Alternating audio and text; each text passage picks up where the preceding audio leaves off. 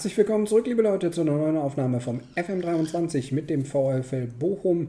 Nach dem Auswärtsspiel gegen Bremen sieht es für uns schon wieder ein bisschen lichter aus. Aber es geht direkt weiter. Wir müssen gegen Freiburg jetzt auf jeden Fall unser Heimspiel gewinnen. Das wäre so wichtig. Äh, zumal wir jetzt insgesamt mit dem Freiburg-Spiel drei Heimspiele hintereinander haben, bevor es dann noch zwei Auswärtsspiele gibt. Aber das zeige ich euch, diese komische Konstellation gleich mal. Gehen wir mal rein. Ich zeige euch erstmal die Ergebnisse, die nach unserem Bremen-Spiel, wir haben ja freitags gespielt, noch stattfanden. Nämlich Köln besiegte Regensburg 2-0, Bielefeld Leverkusen 0-4, Dortmund gegen Stuttgart 1-2, Mainz gegen Hoffenheim 0-1, Freiburg gegen Gladbach ebenfalls 0-1. Und die Bayern gewannen gegen den HSV 3-0, was fast die Meisterschaft wäre liegt aber jetzt an den Teilen zweiten. Das zeige ich euch gleich, dass es noch nicht ganz so weit ist. Frankfurt gegen Leipzig noch 1 zu 1 am Sonntag. Am Montag gab es noch das Spiel Wolfsburg gegen Hertha 1 zu 1. Und an diesem Freitag äh, war das erste Spiel des jetzigen Spieltags. Da gewinnt Wolfsburg in Frank äh, Stuttgart 2 zu 0. Und wir spielen, wie gesagt, samstags gegen Freiburg. Ja, wie gesagt, es sind noch insgesamt 15 Punkte zu holen. Leverkusen ist mit 59 Punkten Zweiter. Wenn die 15 Punkte holen würden, hätten die 74 und wären punktgleich. Also die Meisterschaft ist eingetütet, aber ganz offiziell braucht der FC Bayern München noch einen Punkt. Von daher, das ist das, was ich euch zeigen wollte. Ja, wie gesagt, was ich euch auch sagen wollte, ist, dass wir, und dann schauen wir mal hier auf diesem Plan, äh, wirklich jetzt Heimspiel gegen Freiburg, Heimspiel gegen Frankfurt, Heimspiel gegen Wolfsburg und dann auswärts gegen Bayern und Stuttgart. Das ist auch irgendwie ein bisschen seltsam, haben wir ja manchmal schon auch erlebt mit, mit anderen, anderer Konstellation, dass man mehrere Heimspiele und dann mehrere Auswärtsspiele hat. Das gibt es eigentlich so nicht. Also keine Ahnung, wer das da einstellt oder was das da vielleicht doch für ein Bug ist. Ich habe keine Ahnung. Also das, äh, wenn es euch auch so geht, schreibt es mal. Also ich finde das ein bisschen seltsam. Aber nehmen wir jetzt einfach mal so hin. Ja, das ist das eine. Wenn ich, bevor ich dazu komme, was es in der Woche noch so gab, mal kurz äh, auch die Ergebnisse aus der Woche, weil die Euroleague hat gespielt. Und äh, ihr seht es daran leider schon, jetzt sind wir schon ein zu weit. Die Frankfurter haben es nicht geschafft. Das irgendwie irritiert mich das. Wie ist das hier gemacht? So, das waren die Rückspiele. Genau, Frankfurt verliert zu Hause gegen Leeds 1 zu 2, ist damit ausgeschieden. Newcastle gewinnt nach Verlängerung 5 zu 2 gegen Valencia, kommt damit ins Halbfinale, genauso wie unser Gegner aus dem Achtelfinale gewinnt, immer, äh, gewinnt auch 2 zu 0 bei den Glasgow Rangers und ist damit mit insgesamt 4 zu 0 im Halbfinale. Und Inter Mailand schafft es ebenfalls 2 zu 1 Sieg gegen Rapid Wien. Und das ist schon die Auslosung für dieses Halbfinale, nämlich Inter gegen Atalanta und Newcastle gegen Leeds. Komischerweise zwei ja, Länderduelle. Wäre schöner gewesen, wenn sich das hier gemischt hätte. Aber damit ist auch klar, eine italienische Mannschaft und eine spanische Mannschaft, äh, englische Mannschaft kommen ins Finale. Mal gespannt, wer es ist. Wenn es nachher unser Gegner Atalanta Bergamo ist, dann müssen wir uns, glaube ich, überhaupt nicht mehr grämen. Gut, was gab es sonst noch in der Woche? Zum einen ist Drakoscha in der 11. Woche gewählt worden. Freut uns, wie gesagt, immer. Die Gewinne der Bundesliga, da hatten nur der FC Bayern und der 1. FC Köln Gewinne erzielt.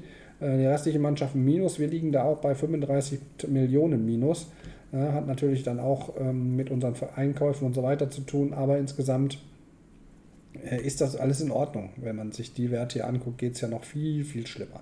Wir haben uns noch äh, mehrere Leute gescoutet, genau, ihn hier nicht ganz für gut befunden, aber hier Karim Konate finde ich gar nicht so verkehrt. Sein Vertrag läuft noch bis 28 ja, wir werden ihn mal beobachten. Er ist eher so ein pressender Stürmer durch seine Aggressivität und äh, Einsatzfreude. Das sieht man hier auch. Könnte vielleicht mal so ein Asano-Ersatz sein. Abschluss ist auch relativ gut, ja. Hat also in seiner Zeit, wir können da ja mal drauf gucken in der Chronik, auch bei Red Bull Salzburg jetzt zuletzt, aber Liefering er hat über seine Tore auch gemacht hier in der Elfenbeinküste, 16 Mal getroffen, 9 Mal getroffen. Ganz interessanter Mann, habe ich mal auf die äh, Beobachtungsliste gesetzt. Einfach mal schauen. Äh, was wir da für Möglichkeiten haben. Ähm, was gab es sonst noch, was ich euch zu zeigen habe? Ja, unsere 19 hat endlich mal einen Punkt geholt, immerhin, aber das gegen Dortmund, muss man auch dazu sagen. 2 zu 2 am Ende, Torschützen Müller und Aidogu. Ja, sind wir schon mal auf jeden Fall mit dem Punkt zufrieden und vielleicht reicht es ja dann mindestens für Platz 8, dass wir uns den halten. Ist ja auch, wie viel sind die? 14, 28, sind noch zwei Spiele. Ja, genau, zwei Spiele sind es noch. Schauen wir mal. Ja, schauen tun wir auch uns der nächste, den nächsten Gegner an, nämlich den SC Freiburg. Die spielen aktuell in einem Gegenpressing 4-4-2, Ünal hier mit 3-2, Waldschmidt 6-1, Anderson 1-3, Eggestein 2-1, 3-1, Grifo 1-5. Ja, wie spielen sie insgesamt? Riskant, häufiges Pressing. Um was geht wenig Dribblings, äh, Bälle regelmäßig verloren. Das heißt, man sollte sich schon ein bisschen auf den Füßen treten, wenig Pässe, ungenaues Passspiel. Also da müssen wir hellwach sein. Wir haben Offensive trainiert. Sie stehen aktuell auf Platz äh, 15, also kämpfen natürlich um den Klassenerhalt in dem Fall. Von daher für die natürlich auch jeder Punkt wichtig. Gehen wir rein ins Taktikmeeting, 21.096 Zuschauer wollen uns hier unterstützen. Das freut uns natürlich. Ich habe an der Aufstellung heute ehrlich gesagt noch gar nichts gemacht. Fällt mir gerade auf, aber ich denke auch, dass wir die Mannschaft so spielen lassen können, die gegen Bremen das ja recht gut gemacht hat. Da fiel mir auch keiner auf. Ich meine, die beiden Stürmer, wir haben schon länger äh, thematisiert, aber ich, ich glaube an die zwei und wir haben mit Dietz eine Möglichkeit, ne, was hier hat Dietz trainiert? Äh, 8,25. Ja. Natürlich besser als die beiden. Aber wir, komm, wir bleiben jetzt bei diesem Spiel nochmal dabei, ansonsten werden wir im nächsten Spiel was drehen. So machen wir es. Stöger hat sehr, sehr gut gespielt, bleibe ich ebenfalls bei. Und äh, der Rest passt auch. Sind eigentlich ganz gut in Form gerade. Deshalb machen wir das auch so. Da stellen wir mal eben kurz noch ein. Ja, das sollte reichen.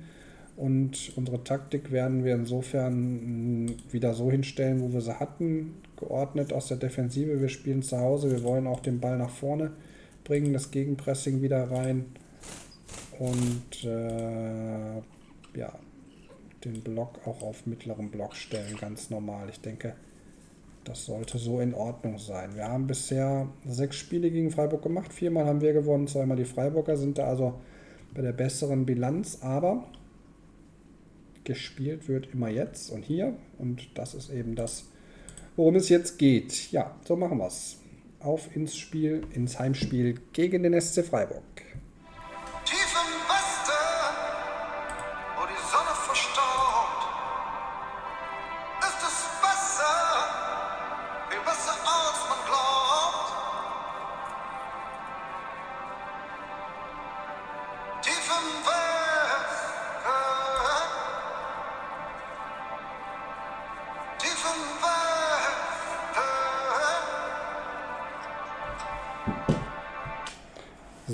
Jetzt noch die Frage, was wir hier sagen.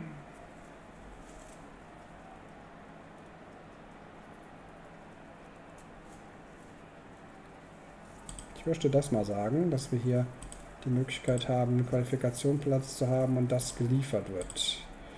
Das wäre mir sehr wichtig. Wir würden jetzt beiden Stürmern nochmal sagen, ich habe Vertrauen in euch. So, das kommt schon mal gut an beim ganzen Team auch. Das ist sehr schön. Auf geht's. Wir spielen in den blauen Trikots. Heimspiel gegen Freiburg. Christian Streich, der Trainer. Benjamin Cortus, der Schiedsrichter. 69 gelbe, 2 rote in 25 Spielen.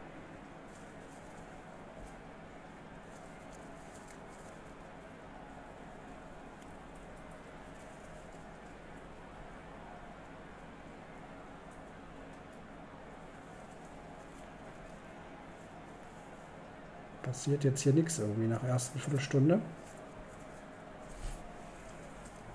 Und direkt mal ermutigen, hier was zu tun. Aber nicht die Freiburger eigentlich.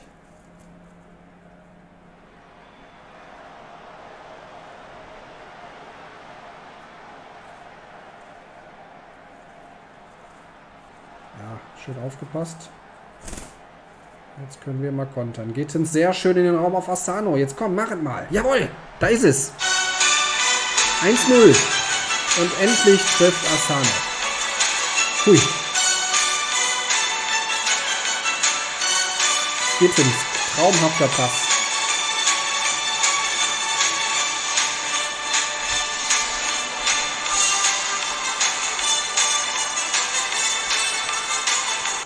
Traumhafter Pass von Gittens, der momentan so super in Form ist. Richtig genial und endlich trifft Asano. Wie froh bin ich darüber. 1-0. Oh, Retschbeschei, Osula. Oh, wenn der jetzt auch noch getroffen hätte, war aber dann im Abseits. Dann wäre die Welt wieder in Ordnung. Aber ich bin ja schon mal dankbar für, für den ersten Step, den wir hier sehen durften. Und jetzt dranbleiben. Stöger auch mit dem Superpass. Wieder diesmal auf Osula. Oh, der schiebt ihn vorbei. Schade.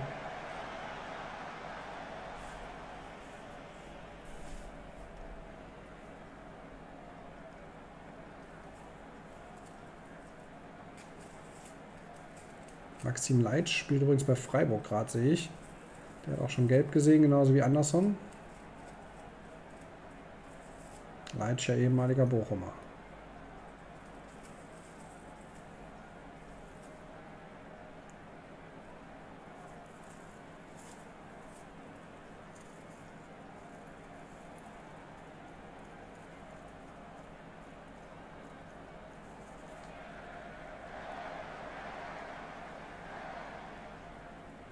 Schön, schön. Heute kommt aber raus. Schade. Sonst hätte Osula hier sicherlich eine gute Chance gehabt, auch wenn er ein bisschen weit über außen getragen war. Aber wir machen direkt weiter. Baturinha. Schön auf Asano, der versucht, wird geblockt. Leitsch aber wieder in die Füße von Walde, nur bringt das jetzt leider nichts mehr. Alles kurz vor der Pause.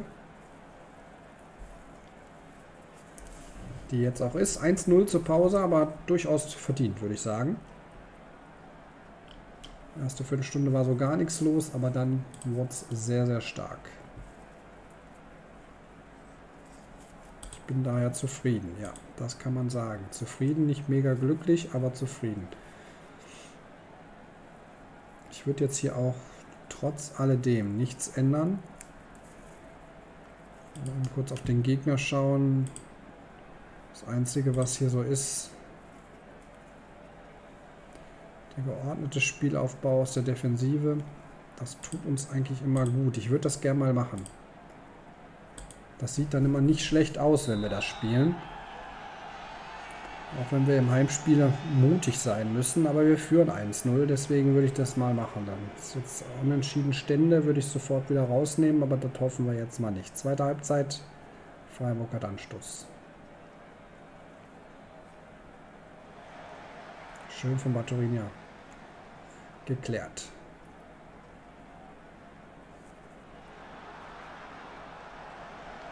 Stöger.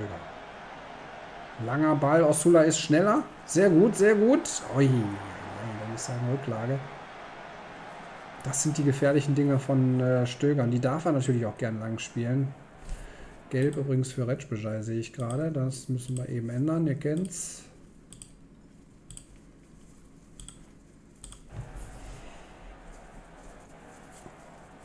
Jetzt macht er einen Freistoß, der auch wieder in die Mauer geht. Schade. Ecke.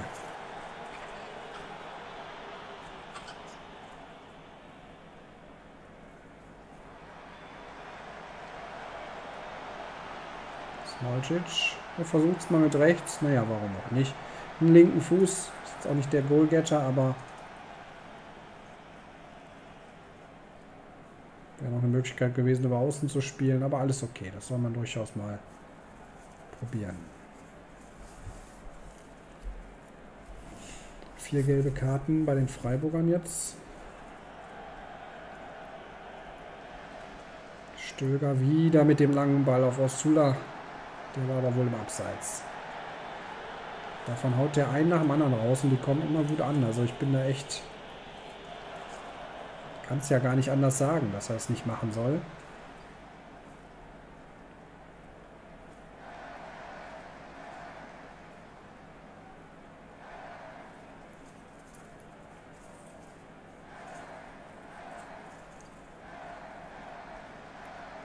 Das ist zum Beispiel jetzt gut rausgespielt. Dann versucht das wieder. Na gut, der kommt mal nicht an. Das läuft aber auch nicht durch davon ab. Wiederholen den Ball. Aber jetzt hat ihn Röhl. Aufpassen. Schön auf Ünal. Aber auch gut geblockt von Ribeiro Ecke. Freiburg jetzt. Ja, plätschert so ein bisschen dahin. Nicht nur, dass es mit Strömen gießt.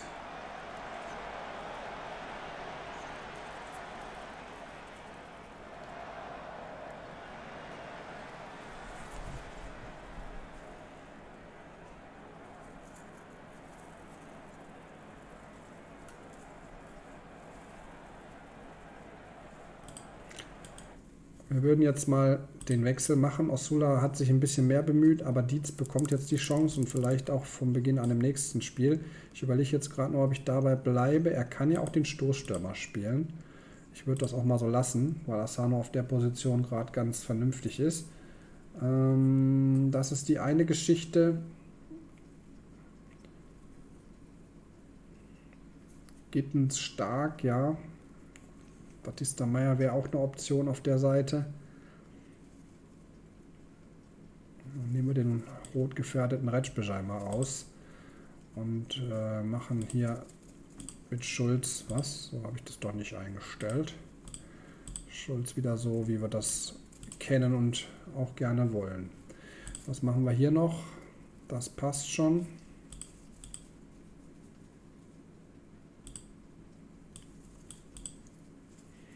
Ja, aus meiner Sicht schon. Auch da jetzt sich nochmal zurückzuziehen.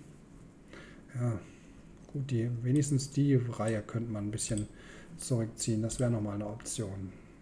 Macht den Unterschied aus. 20 Minuten noch.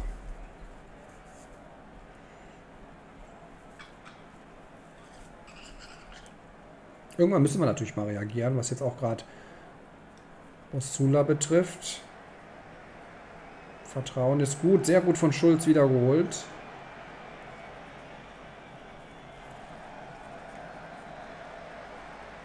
Stöger. Dann Gittens. Ja, das, der letzte Ticken, der fehlt jetzt hier gerade zuletzt, aber noch führen wir. Wir müssen aufpassen. Schulz sehr gut aufgepasst. Sehr gut. Asano, wieder direkt der Konter. Schön gemacht. Schulz. Und da macht er's! Philipp Schulz, 2-0.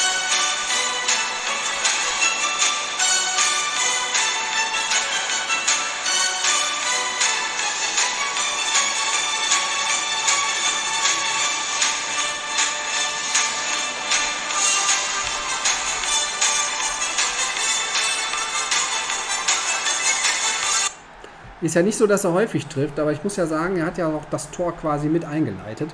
Hat ja hinten schon den Zweikampf gewonnen, geht mit nach vorne und macht das 2-0 Joker-Tor. Sehr, sehr happy bin ich da gerade. So, 82. Minute. Ich würde jetzt auch nochmal wechseln, abgesehen davon, dass Karlsruhe sei schon Freiburg auch was getan hat. Ähm, würden wir zum einen Batterina wird ein bisschen schwächer und Stöger ist ein bisschen kaputt. Für Stöger kommt Förster ins Spiel. Ja, und für Smolcic Raman, der ist ebenfalls kaputt. Und was hatte ich gerade gesagt? Batterinia, genau. Dafür bringen wir Batista Meyer oder Daul. Batista Meyer braucht die Spielpraxis und ist auf der Seite eher Flügelspieler. Ne? Wobei auch vorgeschoben kann er auch spielen. Dann lassen wir das mal so.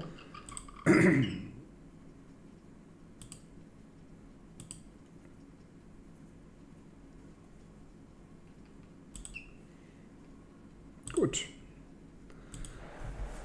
Ja, das, da fallen mir jetzt ein paar Steine vom, von den Schultern. Wir loben das Team mal für die gute Leistung bis hierhin. Rahman ist direkt verwarnt mit Gelb. Vier Minuten Nachspielzeit.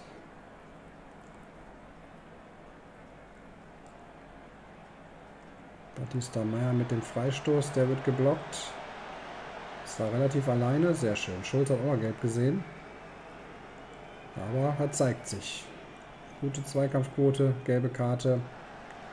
Tor. Sehr schön. Oh, Förster, sehr gut aufgepasst. Ach, den wollte ich eigentlich noch umstellen. Aber. Und da ist Asano, 3-0. Vorlage geht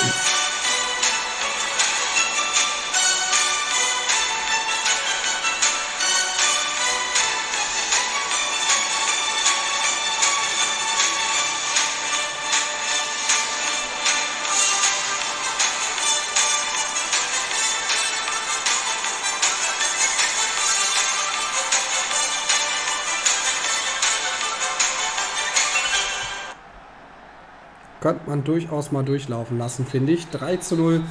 Der Torhüter hat dort auch nicht ganz gut ausgesehen, wie ihr gesehen habt. Äh, ges ja, wie ihr es gesehen habt. Aber Asano. Oh, sorry.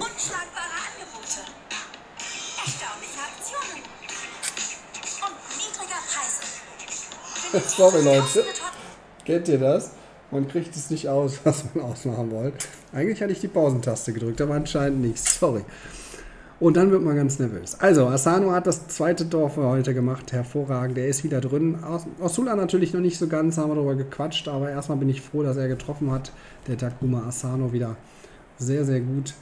3-0 der Sieg, auch verdient, finde ich, auch in der Höhe sehr souverän gemacht. Stöger absolut stark hier, was das angeht. Ne? Also sieben entscheidende Pässe, vier Großchancen eingeliefert. Gittens aber zwei Tore vorbereitet, ist auch momentan richtig gut drauf. Weswegen es mir natürlich auch schwerfällt, Batista Meierla quasi ähm, zu bringen. Ne? Ist natürlich auch eine sehr schwierige Geschichte. Batorinja hat nach bis zu seiner Auswechslung, mal eben kurz gucken, auch drei entscheidende Pässe gemacht. Sonst könnte natürlich Meier auch über rechts spielen. Also ist immer gut, mehrere Optionen zu haben, bin ich sehr, sehr dankbar drüber. Über Schulz haben wir auch gesprochen. Dietz hat das mit 6-8 auch vernünftig gemacht. Sehr, sehr gut. Gute Leistung, gut gemacht. Genauso sehen wir es. Wichtiger 3 Sieg hier gegen Freiburg. Gladbach gewinnt gegen Mainz mit 3 2. Hoffenheim verliert gegen Leipzig 0 2. Regensburg Dortmund 1 2. Und Bremen gewinnt gegen Bielefeld 5 0. Wir rutschen damit erstmal wieder auf Platz 6. Aber auch hier Frankfurt hat noch ein Spiel, Hertha hat noch ein Spiel. Das bleibt alles verdammt knapp, aber es ist natürlich alles möglich. Ja, also wir würden gerne wieder europäisch spielen. Und äh, von daher haben wir jetzt gerade so ein bisschen die Kurve gekriegt. Frankfurt ist unser nächster Gegner auch. Die sind jetzt siebter, aber die haben ja wie gesagt noch ein Spiel. Äh, schauen wir uns an, wieder in den sieben Tagen dann gegen Eintracht Frankfurt wieder zu Hause. Das wollte ich mit wieder sagen. Gut, ich sage danke fürs Zuschauen, auch für die kurze Werbung, die natürlich keine Werbung sein sollte. Ich muss mir das mal anhören. Hoffentlich ist da jetzt nicht irgendwas durchgedrungen, habe ich gar nicht so mitgekriegt. Ich sage danke fürs Zuschauen, macht's gut, bis zum nächsten Mal, dann habe ich das wieder im Griff. Alles Gute, bleibt gesund, ciao, ciao. Herzlich willkommen zurück, liebe Leute, zu einer neuen Aufnahme vom FM23 mit dem VfL Bochum und dem wichtigen 3 0 Sieg gegen Freiburg zu Hause. Wie insgesamt wir gerade in einer ganz guten äh, Verfassung wieder sind, äh, das zeige ich euch gleich noch mal in der Zusammenfassung. Erstmal schauen wir uns an, was nach unseren Spielen noch so stattgefunden hat. Und zwar hat abends noch Leverkusen gegen Köln 3 zu 0 gewonnen. Am Sonntag dann der HSV gegen Frankfurt 0 zu 0 und am Montag das Spiel Hertha gegen Bayern ebenfalls 0 zu 0. Freitag von diesem Spieltag dann Stuttgart gewinnt das Abstiegsduell bisher gegen Freiburg mit 2 zu 1 und wir spielen, wie gesagt, jetzt wieder ein Heimspiel, nämlich gegen Eintracht Frankfurt am heutigen Samstag. Dann gab es ja noch, wobei, wir gucken uns einmal kurz den Wettbewerb an. Die Bayern haben, das hat man uns gar nicht gesagt, aber haben die Meisterschaft natürlich mit dem Unentschieden geschafft. Ne? Es gibt noch vier, sind noch zwölf Punkte. Ich muss gerade mal nachrechnen, habe mich nicht verrechnet, also 74 Punkte. Herzlichen Glückwunsch, die Meisterschaft geht wie immer an die Bayern.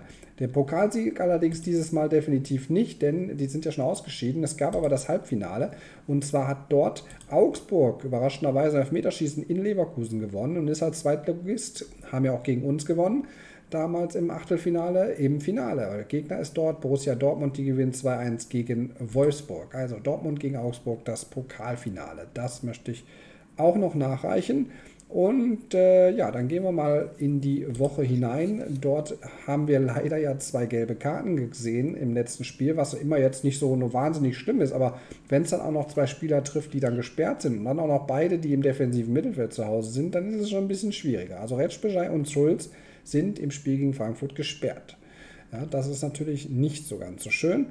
Das ist die erste Nachricht, die ich zu sagen habe. Dann gab es Scoutings. Hier Elias Havel haben wir gescoutet, ist aber dann doch nicht so interessant. Gar nicht so uninteressant ist hier von Alkmaar Yusuf Barasi. Ist auch Stürmer, pressender Stürmer auch, glaube ich, war es doch. Oder habe ich mich jetzt mir auch noch verrechnet? Nee, Stoßstürmer war er.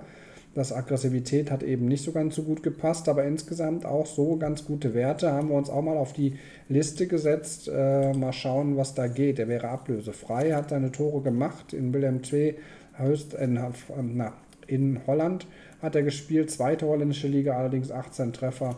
In der Ehrendivision hat er dann auch fünf Spiele gemacht, da hier auch noch, aber da hat er noch kein Tor geschossen. Also von daher so lala von den Werten, aber wir sind weiter dabei, das wollte ich euch damit auch sagen. Was war hier noch für ein Scouting? Maximilian Bayer, den scouten wir schon seit längerem, spielt bei Hoffenheim. Äh, dann hat sich äh, Asano natürlich verdient, in die Elf des Tages genommen zu werden. Auch das ist sehr schön. Aidogo hat sich leider verletzt für drei Wochen aus unserer Jugend. Ähm, dann kommt es noch zu dem Spiel der Jugend, glaube ich. Dazwischen war nichts mehr Großartiges. Genau, die U19 gewinnt nämlich hier mal wieder gegen Viktoria Köln 2 zu 0. Äh, ist jetzt Achter, wie gesagt, ein Spiel gibt es noch. Abrutschen können sie nicht mehr, können noch auf Platz 7 springen im letzten Spiel, wenn das siegreich ist und Düsseldorf da auch verlieren sollte. Also von daher schauen wir mal, wie das geht oder wie das wird. Ja, wir haben jetzt das Heimspiel gegen Frankfurt. Ähm, das hatte ich bereits erwähnt. Wir schauen uns mal an, äh, wie unsere Mannschaft oder unser Gegner spielt in einem klassischen 4-2-3-1-System, was viele spielen über die Flügel. Grölda mit 6-9, also viele Vorlagen. Sahori mit 2-14. Also die Außen, das habe ich auch noch nicht so gesehen, extrem stark. Da müssen wir echt aufpassen. Kameda, äh, Kamada mit 3-9 und äh, Kolomoyani mit 31 Toren und 4 Vorlagen. Heftig, ne? Da sind 16 von in der Bundesliga, 13 in der Euroleague. Wahnsinn. Das kommen noch zwei im Pokal und vier in Freundschaftsspielen. Also ein ganz, ganz starker Stürmer. Francic aber auch noch 10-2, also wo die das alles herholen. 5-3 bei Saw. Dann über die Außen ja auch 1-2, Garcia 4-10. Also wahnsinnig starke Mannschaft. Äh, müssen wir schauen, wie wir da agieren. Das habe ich so auch noch nicht beackern müssen, sage ich jetzt mal. So eine starke Außenmannschaft, Flügelmannschaft.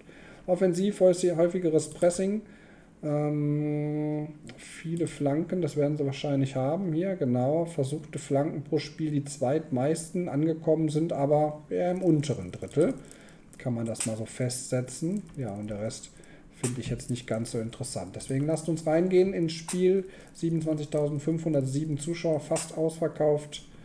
Ein paar fehlten noch ähm, im Ruhrstadion, damit es ganz voll ist. Ja, wie gesagt, Förster ist dann die erste Wahl natürlich als Ersatz für Retschbejai und Schulz. Stöger natürlich momentan sowieso durch die starken Leistungen ist sowieso gesetzt.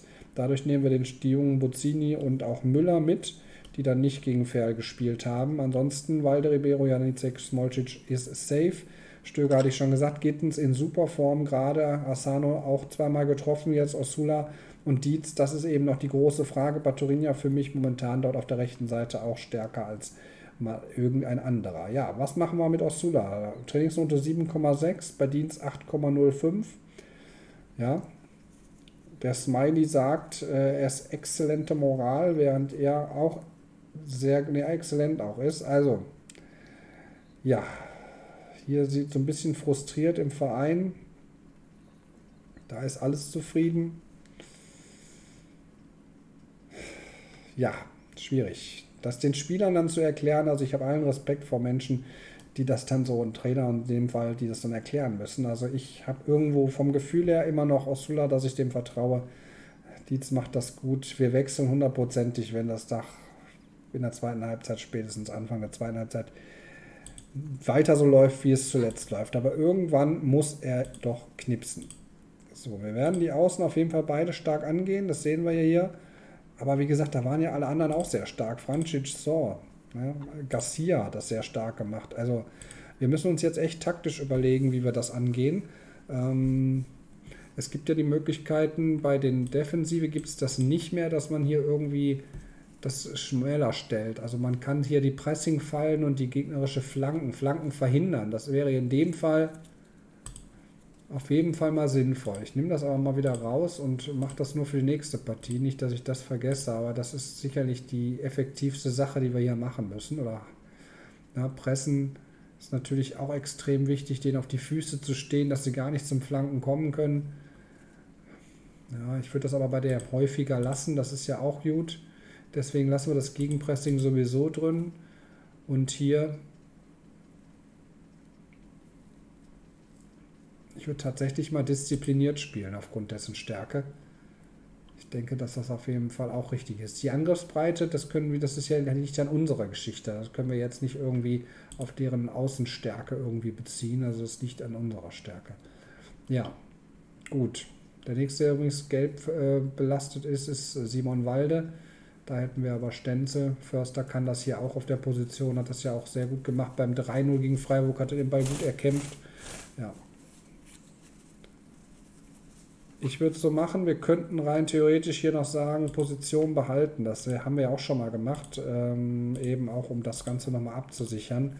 Lass uns das nochmal machen. Dann müssen wir beim Hinterkopf haben, dass wir da eventuell wieder zurück müssen, wenn es da nicht so gut läuft. Gut, ab ins nächste Heimspiel. Eintracht Frankfurt ist zu Gast im Ruhrstadion.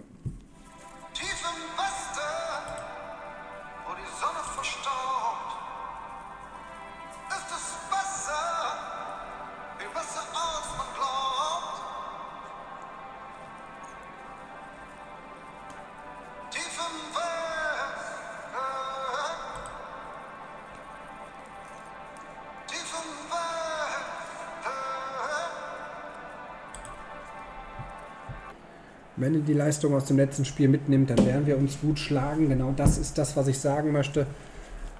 Passt sehr gut. Bei äh, Stöger muss ich nochmal sagen, er soll da weitermachen. Und Baturinha ist der zweite, der noch gelassen ist. Den unterstützen wir mal so. Und Osula. Was sagen wir Osula? Ich habe weiter Vertrauen. Das sagen wir. Auf geht's. Wir in Blau, die Frankfurter in Weiß.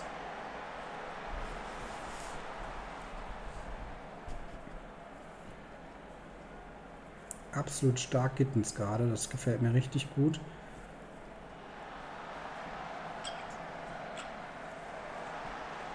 Hat sich da auch festgespielt. Ich hatte das gesagt mit Batista Meyer.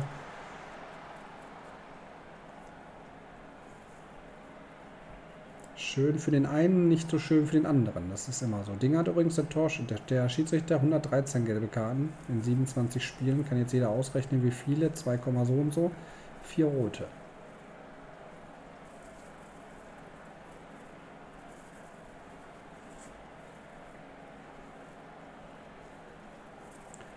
Ecke, 11. Minute, Stöger.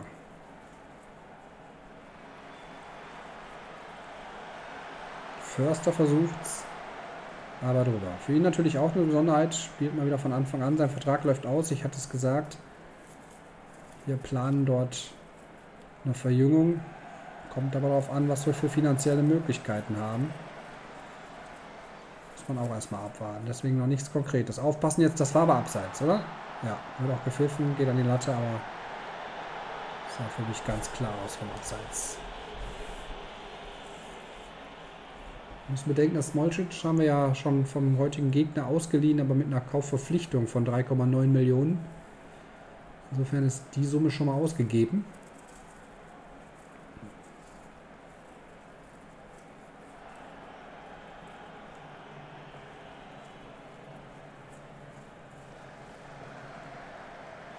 Gittens. Nicht so da reinspringen. Das ist gefährlich. Wobei das von der Seite her wiederum ganz gut ist. Oh, Colamoyani kriegt die Flanken dann wenigstens auch von der Mitte. Habt ihr das gesehen? Jetzt machen wir die Außen vielleicht richtig zu und dann haben sie dann so ein Chipflänkchen da von der Mitte gebracht. Stöger, langer Ball, sehr gut. Asano. Asano wird geblockt. Ecke.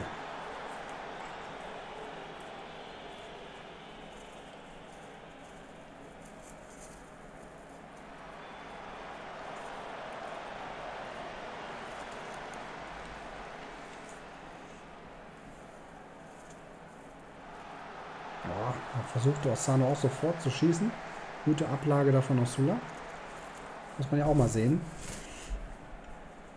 Nicht nur an Toren messen die Stürmer. Moani, Kolomiani, richtig starker Mann.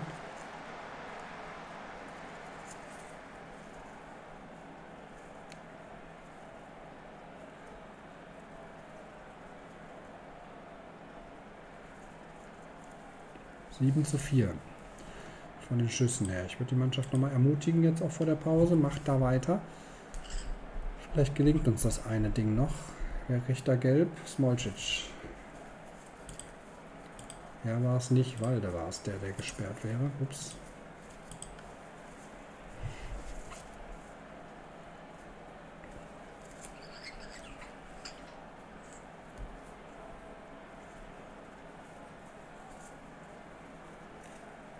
Und dann ist Halbzeit. 0 zu 0. Was soll man davon halten? Wir müssen echt gefährlich auf die gefährlichen Frankfurter aufpassen, aber natürlich auch unser Spiel spielen. Wir müssen geduldig bleiben, das würde ich einfach mal sagen. Hängt euch weiter voll rein. Das kommt meistens gut an, in dem Fall auch. Und deswegen, ich würde auch jetzt hier nicht viel ändern. Also ich wüsste nicht was. Die Disziplin, ja, wie gesagt, da müssen wir Geduld haben.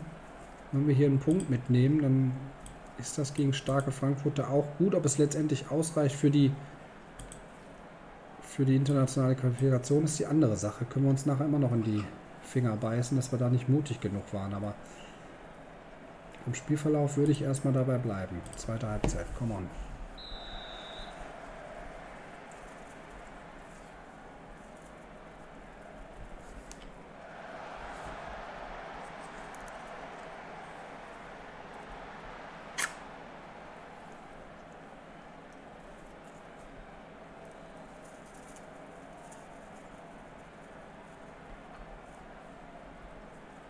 Frankfurter spielen auch jeweils 44% über Außen. Das versuchen sie trotzdem. Dann können wir sagen, dass wir es eigentlich gerade ganz gut verhindern.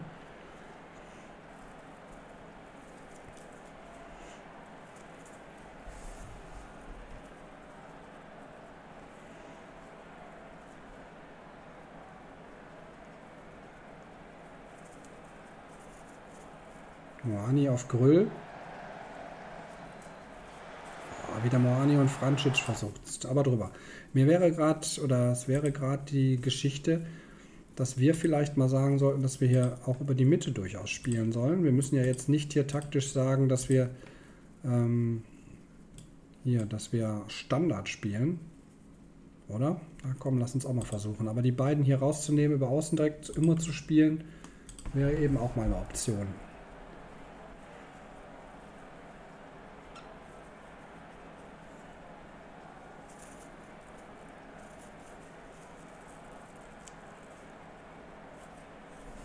Jetzt ist Förster verwarnt. Da ist dasselbe wieder.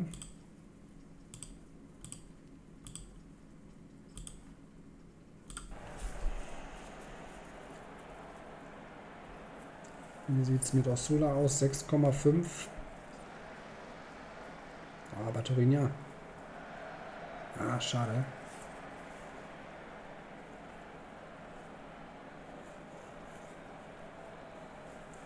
Schön von Gittins. Aufpassen an den Zack. Ich wusste es, dass das gefährlich werden kann. Das sah auch schon so aus. Kamada greift ihn an. Und er vertändelt den Ball tatsächlich.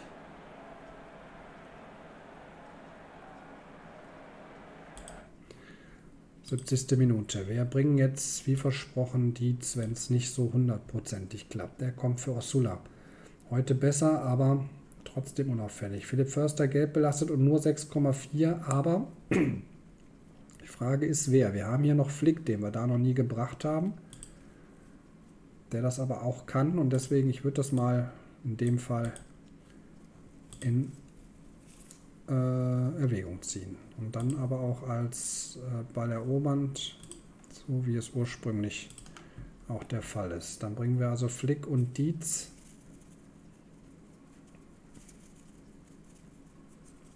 Batterini heute auch so lala.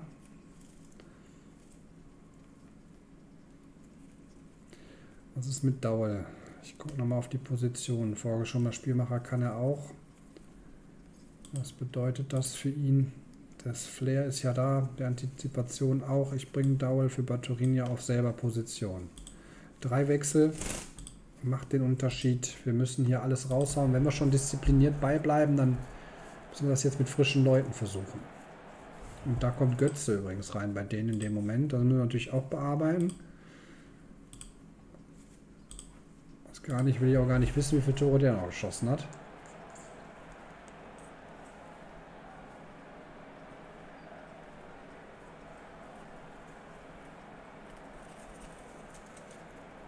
Asano übrigens auch nur eine 6,3 heute.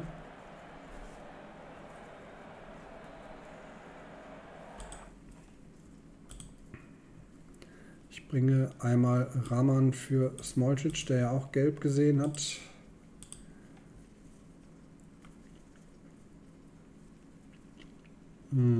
Und würde jetzt mal die beiden hier wechseln. Das wäre dann nochmal ein Versuch für die letzten sieben Minuten. Wir werden nochmal ermutigen.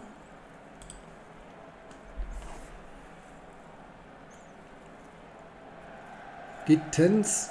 Ah, geblockt, schade, aber auch abseits, schade.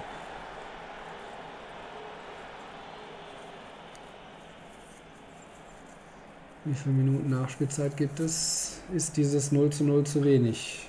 Wir werden es wahrscheinlich am 34. Spieltag wissen, aber erstmal noch die Chance. Gut von Ribeiro aufgepasst. Sonst wäre Götze frei gewesen. Hui. Überstanden. So, jetzt nochmal nach vorne. Komm. Dietz, du bist frisch. Mach ihn frisch. Sehr schön, sehr schön, sehr schön. Oh. Er versucht es doch immer wieder selbst, ne? Auch gute Chance. Jetzt für beide nochmal. Vier Minuten war die Nachspielzeit übrigens. Schon eine knappe Minute weg von. Oh, der... Oh, abseits. Unterkante Lante. Ich dachte, was passiert denn da jetzt? So, eine halbe Minute noch. Passt auf, Leute. Passt bitte auf. Ich nehme den Punkt jetzt einfach mal an. Wie gesagt, wenn uns nachher einer fehlt, nehme ich das auch noch auf mich. Ich meine, es ist ja auch mein Job hier, die Entscheidungen zu treffen. Und manchmal trifft man falsche vielleicht, aber noch ist es nicht so weit. Daul, noch eine Geschichte, versucht dich da durchzusetzen, schafft er nicht. Und dann scheint es jetzt durch. Ja, 0 zu 0 gegen Frankfurt. Okay. Alles zugesagt, was das Risiko angeht und was die Pläne waren. Ich denke mal, defensiv die 0 sehr, sehr gut gemacht. Eine starke Mannschaft, die so viele Tore gemacht hat, haben wir wirklich gegen zu 0 gespielt. Aber wir haben nach vorne eben dadurch auch ein bisschen einbüßen müssen. Und selbst leider nicht getroffen, obwohl die Dinger da waren. Stöger gut, Gittens wieder gut. Das bleibt dabei. Daul nach Einwechslung ganz vernünftig, 6,6. Aber hier war wenigstens mal ein, ein gefährliches Pässchen dabei. Das fürs die Kreativität ist er ja auch da. Okay. Hm, musste das letztendlich sagen. Das begeistert die Leute auch, was ja auch wichtig ist für die weiteren Spiele und die Moral. Hertha gegen Dortmund 1-1, der HSV unterliegt Regensburg 2-3. Bremen verliert gegen Mainz 1-3 und Wolfsburg besiegt Köln 1-0. Wir sind erstmal siebter geblieben. Der Frankfurter haben 48 Punkte, 47 sind, haben wir, Leipzig auch 47, Gladbach, die spielen noch, haben 46. Ja, das, das, da wird es jetzt drauf ankommen. Ne? Also wir müssen, können auf uns gucken, müssen aber leider auch auf die anderen gucken. Wolfsburg, Bayern und Stuttgart sind unsere nächsten beiden Gegner. Und das hatten wir auch schon angekündigt, dass wir 200.000 zahlen müssen, wenn Flick noch einen weiteren Einsatz macht. Das ist jetzt passiert, ist aber halb so wild. Gut, sechs Tage, dann ist das letzte Heimspiel der Saison. Wie gesagt, ein bisschen komisch gestrickt. Die beiden letzten Spiele haben wir auswärts bei den Bayern und bei Stuttgart. Erstmal jetzt aber das, die Konzentration auf das Wolfsburg-Spiel. Ich hoffe, ihr seid damit dabei. Es bleibt spannend. Wir würden gerne international sein. Das sehen wir, glaube ich, alle so. Danke fürs Zuschauen, macht's gut und wie immer bleibt gesund. Ciao, ciao.